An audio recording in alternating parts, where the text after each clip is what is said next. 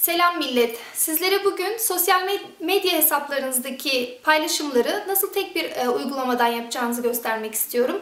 Burada kullanacağımız uygulama Buffer. Tabii ki Facebook'un e, kullandığı zamanlayıcı var. İsterseniz bunu oradan da zamanlayabiliyorsunuz. Kendi analizleri de var ama Buffer'ı Buffer'la bütün medya accountlarınızı, bütün medya hesaplarınızı tek bir noktadan zamanlayabilirsiniz. Aynı aynı zamanda Buffer'ın bir plugin ile beraber indirdiğiniz zaman haber okurken kullandığınız bir e, dergi varsa onu onu e, gözlemlerken bir anda altın resmin altında buffer'da paylaş diye bir otomatikleştirme var ve bunu işinizi kolaylaştırması için de kullanabilirsiniz. Zaman kazanmış olursunuz. Eğer bir çalıştığınız bir şirketteyseniz ve araştırma yapmanız gerekiyorsa Burada e, kullandığınız, okuduğunuz gazetelerle beraber anında postaları hazırlay hazırlama şansına sahip oluyorsunuz. O zaman biraz inceleyelim. Öncelikle buffer e, buffer.com'a gidiyoruz. Daha sonra şimdi burada üye olmadıysanız daha önceden üye, üye olma olmanız için sign up for free kısmını göreceksiniz. Ne yazık ki buffer'ın Türkçesi yok. Ee, o yüzden İngilizce çok kullanımı çok kolay olduğu için çok sıkıntı çekmeyeceğinizi düşünüyorum. Ee, sign up for free kısmına gidiyorsunuz ve kayıt oluyorsunuz. Ben zaten kayıt olduğum için şimdi giriş yapıyorum sadece.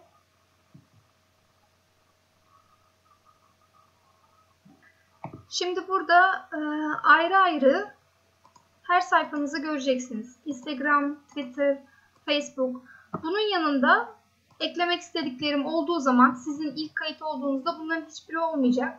Fakat buradan birer tane ekleyebilirsiniz. Şimdi özellikle diyelim ki Twitter ekleyeceksiniz, Facebook ekleyeceksiniz. Bunlar eklendiğinde e, otomatik olarak gönderecektir. Yani ayarladığınız saatte otomatik olarak zaten Facebook'ta ve Twitter'da olacaktır.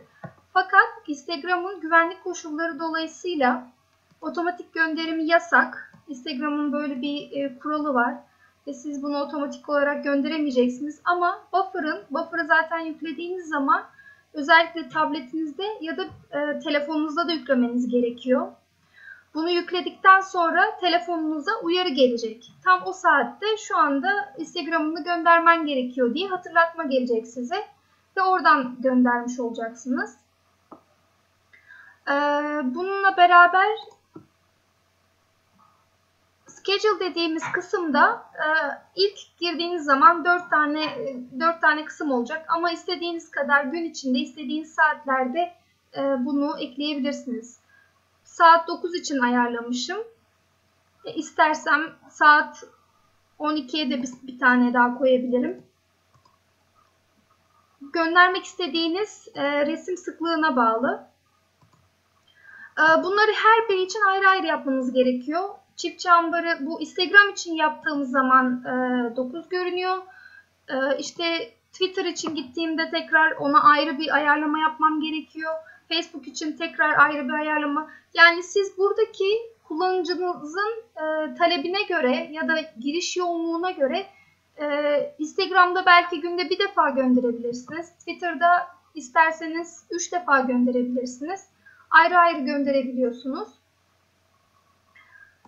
Daha sonra ayarlar kısmında settings'e geldiğiniz zaman ekibinizi de burada e, ekleyebilirsiniz.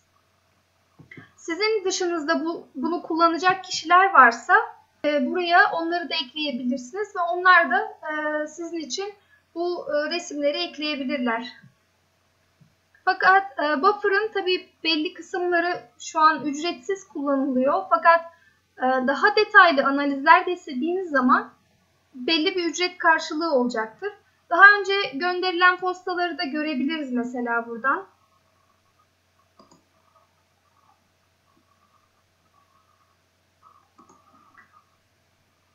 Önceki hatırlatmalara bakıyorum.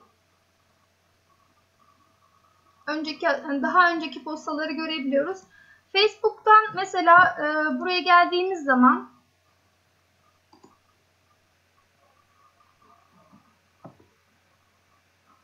Şimdi burada detaylara baktığımız zaman Ee, bunun avantajı bir yandan bunları toplu bir şekilde e, kaç kişinin e, beğendiğini, işte kaç kişiye bu resmin görüntülendiğini Twitter için e, bu özelliği de görme şansınız oluyor. Aynı şekilde Facebook için de. Facebook'un, Twitter'ın ya da Instagram'ın zaten kendi içinde analizleri var. Daha detaylı incelemek istediğinizde bu analizlere bakmanız çok daha faydalı olacaktır. Çünkü bu ücretli ödediğinizde ancak bu analizleri veriyor. Fakat e, hepsini bir arada yönetmek istediğinizde ya da işte Instagram account'unuzda bir e, hesabınızda bir sıkıntı olduğu zaman e, resimlerinizi kaybetmemeniz için de burada hepsinin bir arada olması, hangilerinin daha fazla talep gördüğünü, gördüğünü bir arada görmek faydalı olacaktır. Instagram'ın şu an bilgisayar üzerinde olduğu için bu detayları görünmüyor. Fakat normalde tabletinizin üzerinden ya da telefonunuz üzerinden baktığınız zaman bu detayları kaç kişinin görüntülediğini görmüş oradan da görebiliyorsunuz. Şuradan eskilere bakalım. Şu an burada burada görünmüyor çünkü telefonunuz üzerinden paylaşım yaptığınız için o bilgileri telefonda gösteriyor. Ee, şimdi bir tane resim gönderelim. Bunun için bir tane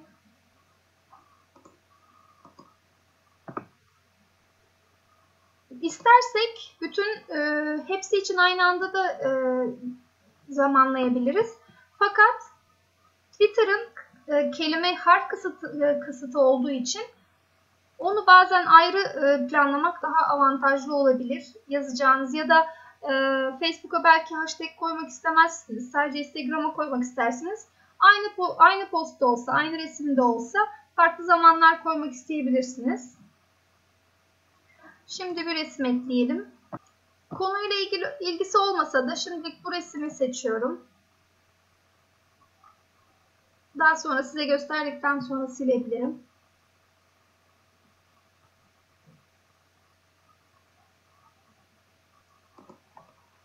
Buraya istediğiniz e, notları yazabilirsiniz. Hashtaglerinizi ekleyebilirsiniz.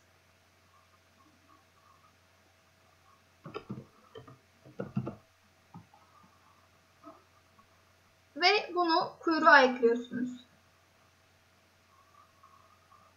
Bunu Instagram ve Facebook için e, yaptık. O yüzden Twitter için şu anda görünmeyecektir. Yarın e, bunu yayınlayacak. İsterseniz şu an paylaşalım diyebilirsiniz. Aynı şekilde Facebook için de hazır. Şu an paylaşarak şu anda paylaşabilirsiniz isterseniz. Bunun zamanını değiştirebilirsiniz. E, farklı zaman ekleyebilirsiniz. Özel bir saat seçebilirsiniz ve gün de seçebilirsiniz. Yani burada bu, bu sayfada siz istediğiniz şekilde bunun planını yapıp siz her zaman başında olmasanız da bu sosyal medyanın bütün e, hesaplarını otomatik olarak kontrol, kontrol etme şansına sahipsiniz. Yani e, bütün hafta tatile gitmiş olsanız bile sizin hesabınız buradan güncelleme yapacaktır. Küçük bir şirket olabilirsiniz. Bunun e, ya da büyük bir şirket, büyük şirketlerde de aynı şekilde zaten bunların e, planlaması yapılıyor. Farklı illa buffer olması gerekmiyor. Farklı araçlar kullanılabilir.